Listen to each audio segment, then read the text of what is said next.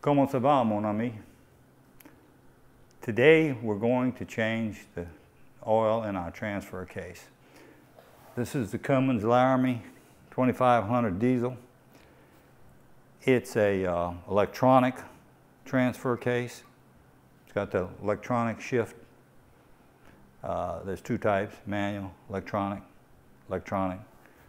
Um, we're going to be using some oil. no shit. Uh, we're going to be using some oil. Uh, it's the Mopar Transfer Case Lubricant, La Fiande pour, whatever. It shouldn't take more than about, it shouldn't take, it shouldn't take these two. It should take less than this. It better. Or that parts guy at the dealer is going to catch living hell because it's Friday and I don't want to have to try to get over there today because I don't have a car. Uh, all we're going to need is a little ratchet, 3 eighths. Got one of these things. These things are so handy and, they, and they're very cheap. And they'll screw into just about any thread. You know, uh, your quart threads, they'll screw into your, uh, your lube threads. And they pump great. And they got different height dip tubes for different height containers. Well worth having one or two of these. Shop rags. Uh, this is the pipe thread on this thing.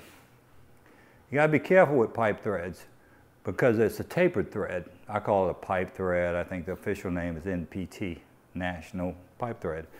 Uh, you got to be careful with that as opposed to say uh, like the, the drain plug on your differentials where it just screws right in then it bumps up flat and then you torque it. A pipe thread is a tapered thread. So as it screws in, it's expanding as it goes in. And those are the threads that'll crack an aluminum case faster than anything else.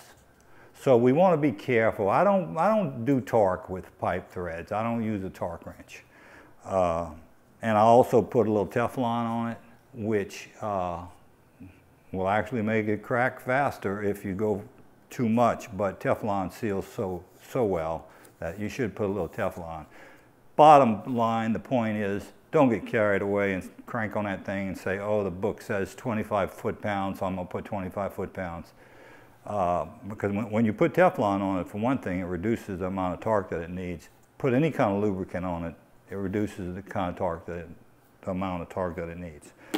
So we got two quarts, we got some shop rags, got my air compressor. Air compressor is one of those things that you don't know you need till you have one. You know, it's like, what did I do with, without an air compressor all my life? Now, this, I've been having this thing since early 80s. And, uh, but it, it, it's like that, you know, it's like, how did I do without it? And then I got a shoe, I got some lint-free rags, of course. And uh, we've got some, uh, a pan over here and uh, just a pan to, uh, to catch the oil. It's only gonna be two quarts or less. So let's go ahead and set up and do that, okay? One thing I failed to mention, guys, is I got this plate right here, this brace that goes across from here to here. Here's your transfer case right here. Your fill hole is right, right up here. Your drain hole is down here though. It's right, right under this. So what we're gonna do is just, there's four bolts here. I'm just gonna go ahead and pull these off real quick where we can see things a lot better and uh, we won't have that oil dripping all through here and the holes and making a big mess and everything. So we're going to go ahead and do that first and I think it'll make it a lot easier and a lot easier to see also.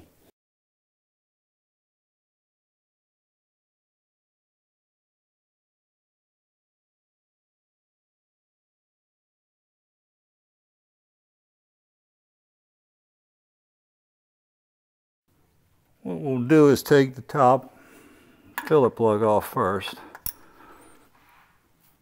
Just, like I said, both of these are pipe threads.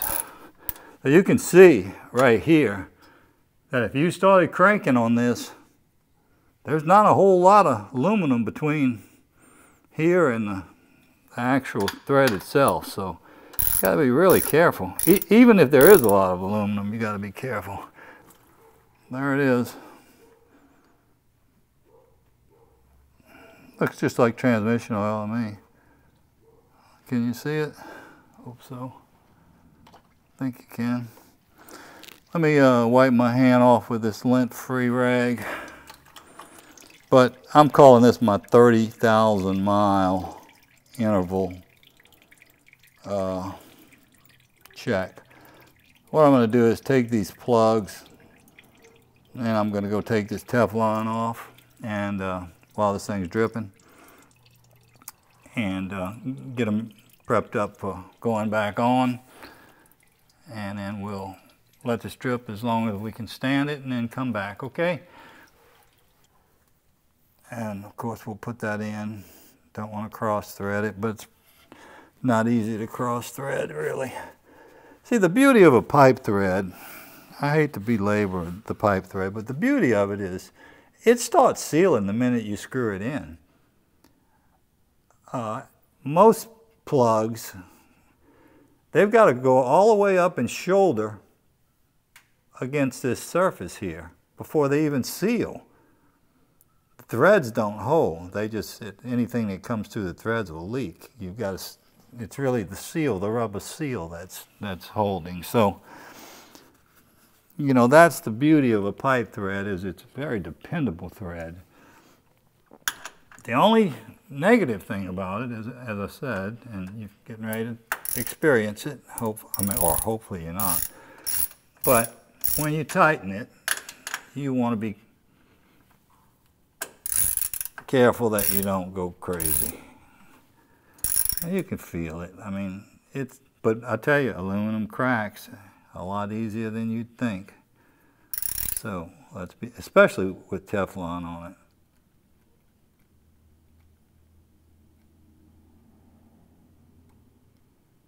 And that's good. That's really good right there.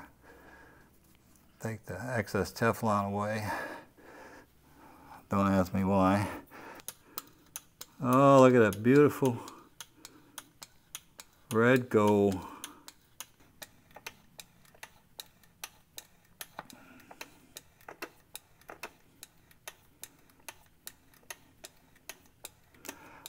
I just uh, glanced over at the uh, the U-joint there that we have so much fun greasing and I almost had a panic attack.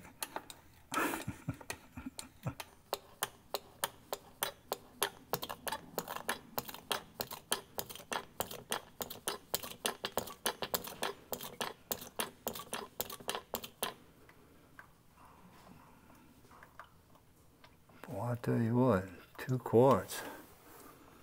Barely made it. Like I said, wrapping Teflon 101. Wrap it in a direction. In other words, when you screw it on, it'd be like wrapping it. It'd be like wrapping more of it. It's one of the first things I learned when I went to work as a roustabout in 1970. How to wrap Teflon. I actually read the, the side of the carton one time. It had the instructions on it. It said put three layers. Well, I don't know about that, but it doesn't hurt as long as you don't let it work against you by splitting your case or something would be probably a little harder to crack the case on, but because this is the one you got to watch right here. There's not a whole lot of meat between those threads and that. And you get too rough with that pipe plug, and you're going to wish you'd have never changed this oil.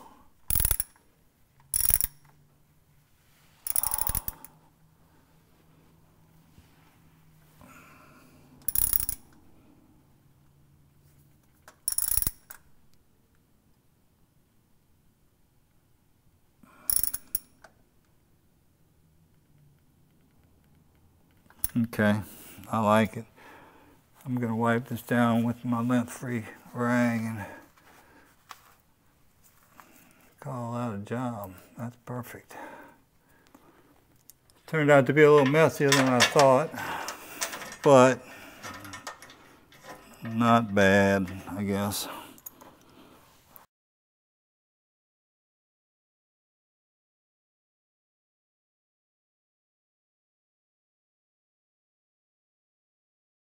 That's going to do it for us. We got it all changed out, prettied up under there and everything. Good for another 30,000 miles. That's a very easy change. Boy, if they'd only put drains on everything. Okay, folks, well, that's going to do it. I think we got, a, got us a pretty nice job here. Uh, no leaks. Nice, clean fluid. Got everything all buttoned up and tight. I appreciate you watching my video and until next time, adios.